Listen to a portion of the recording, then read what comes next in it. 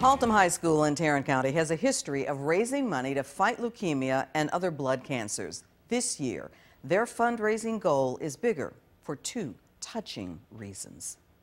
Go. The Haltom High School Buffaloes are 12 and 14 and looking forward to the playoffs. Big game on home game on Tuesday, okay? In 2013, the Buffaloes made it to the second round, and Jacob Cardona was the point guard. I used to play basketball with him, and he always used to tell me, chase my dream, chase my dream.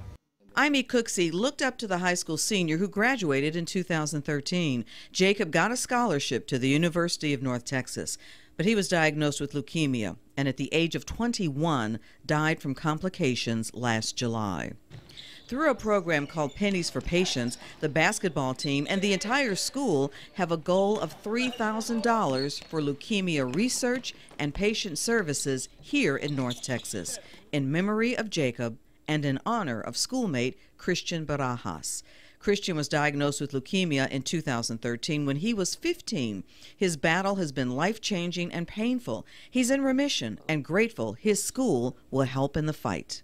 Less problems for kids going through it, make it easier, better equipment to fight it. Haltom High calls itself the school with a heart. Then we got our Chipotle night ready, and then we're going to pass the hat at um, a basketball game, and we have donation boxes that we're going to put at local businesses, and then of course like within the school.